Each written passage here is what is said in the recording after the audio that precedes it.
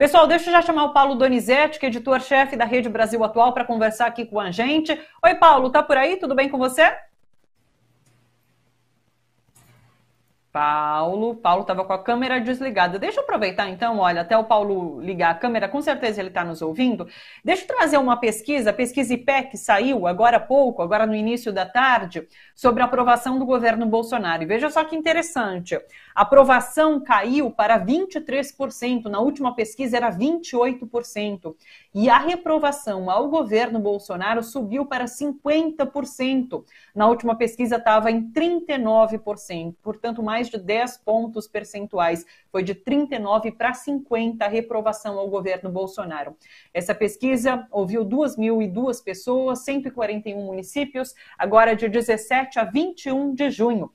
Está sendo divulgada agora no início da tarde. Paulo já está comigo. Oi, Paulo, tudo bem com você? Oi, Thalita. Boa tarde, pessoal. Bom. Paulo, a gente conversava ali nos bastidores, eu já cantei até essa bola ali conversando com o Miguel, sobre os militares no governo, né? Mourão deu uma entrevista é, falando sobre erros que teriam sido cometidos pelo governo nesse combate à pandemia aqui no Brasil, erros que seriam de comunicação, né? Enfim, seriam erros de comunicação, segundo Mourão.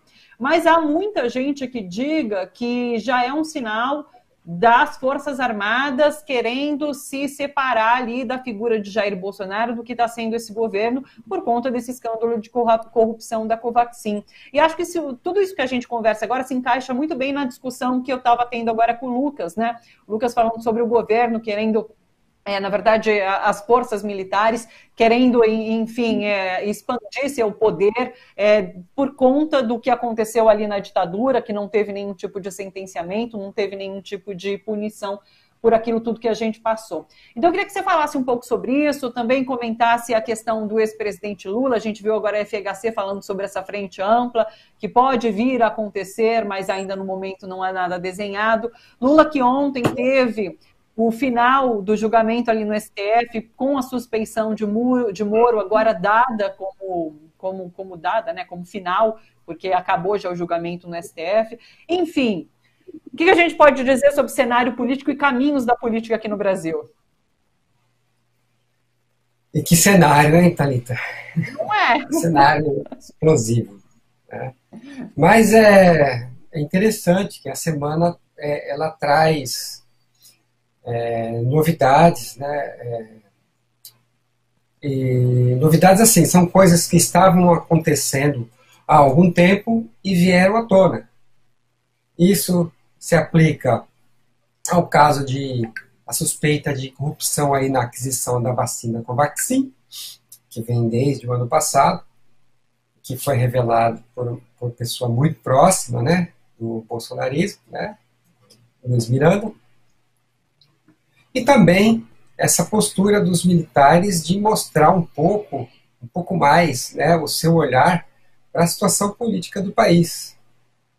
É, os militares, na verdade, nunca deixaram é, as estruturas da República desde a abertura da democrática, né? Eles ficaram em silêncio durante todo todos os governos civis que sucederam, né, de Sarney, Collor, Tamar, Fernando Henrique, Lula Dilma, mas já, se, já ficou claro que no governo Dilma eles voltaram a agir, né, como deixou claro aí o, o, o Vilas Boas, né, com seus áudios reveladores a respeito da conspiração que levou ao impeachment e depois a eleição de Bolsonaro. Os militares eles têm uma função, uma, um papel é, republicano técnico muito claro né, na Constituição, o seu o Estatuto das Forças Armadas, que veda a participação e a intervenção na política, mas eles têm também é, uma postura é, política de acordo com a conveniência. Né? Então, é, isso é, é algo que marca as, as, forças militares em todos os países e, e, na América Latina com um grau mais acentuado. Né? Então, nesse caso, é, de tantos erros cometidos por militares dentro do governo, o que vai pesar mais? Né? a lei, o estatuto, o direito, que determina que os militares não devem intervir na política enquanto estiverem nativa, né? ou o fato de eles, ou a hierarquia, o fato de eles terem um comandante em chefe que desafia a lei, que desafia a, a república, que desafia a Constituição. Então eles chegaram num, né, numa encruzilhada. É necessário tomar uma posição. Me parece que essa posição vem sendo tomada há algum tempo. É, no final de março, quando foi é, demitido o ministro da Defesa, né, o Fernando, Azevedo, né, já houve um constrangimento interno nas Forças Armadas que levou à saída imediata do ministro, do comandante do Exército, né, o Edson Pujol, e foi ali que ficou aquela sensação, pô, mas os militares vão ficar quietos diante dessa é, ofensiva do Bolsonaro para controlar é, as, as Forças Armadas e conduzir as Forças Armadas para um lado errado da história, que é a condução política desastrosa que o governo vem cometendo. Na ocasião, né, o professor da Universidade Federal de São Carlos, né, o João Roberto Martins Filho, deu uma entrevista na Rádio Brasil Atual, ao Glauco Faria, em que ele dizia que os militares já devem estar procurando um plano B ou seja, não é um plano C, não é a chamada terceira via. Também não é um plano Bolsonaro.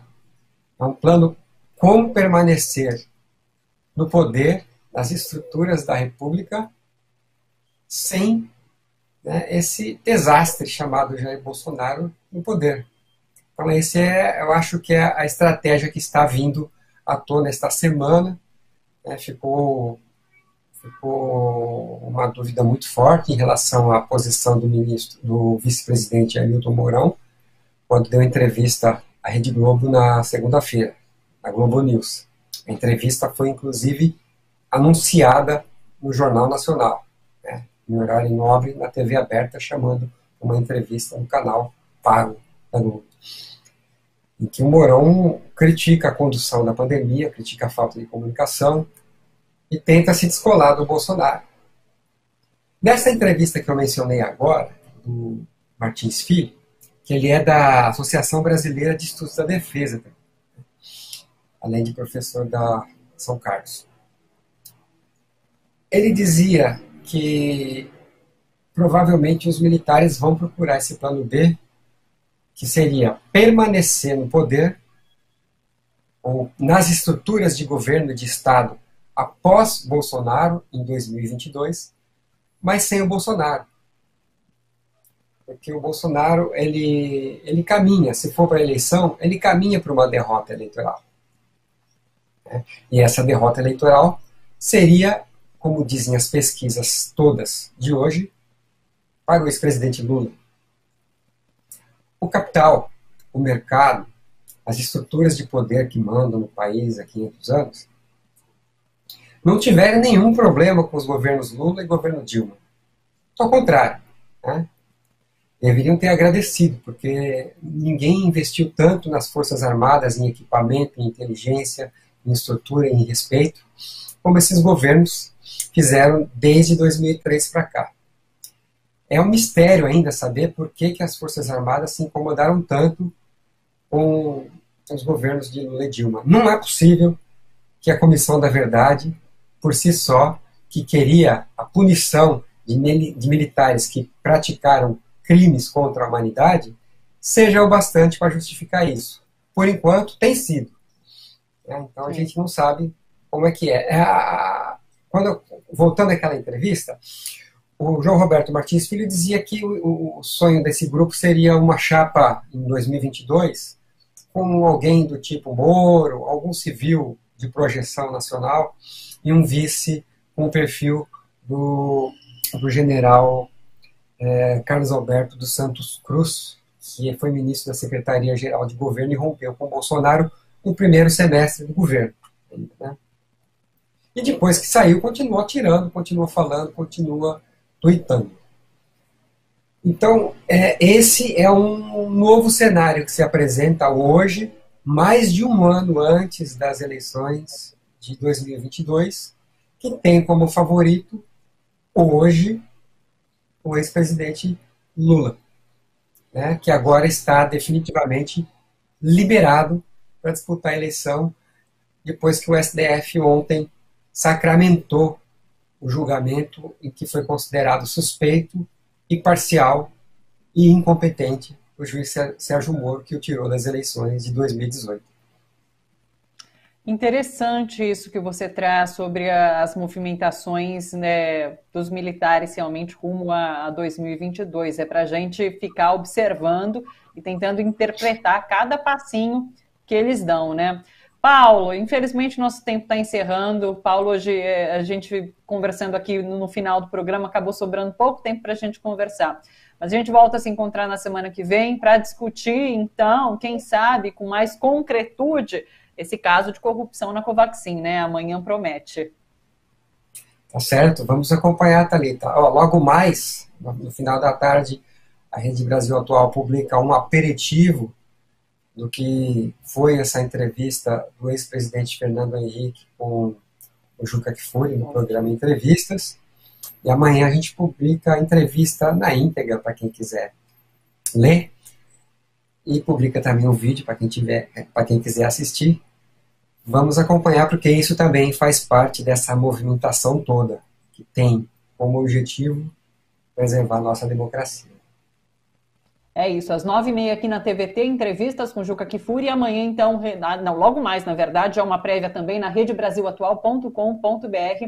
Só vocês entrarem aí na, na página para darem uma olhadinha. Paulo, muito obrigado, um beijo para você, um bom final de semana e até semana que vem. Beijão, tchau, tchau, gente.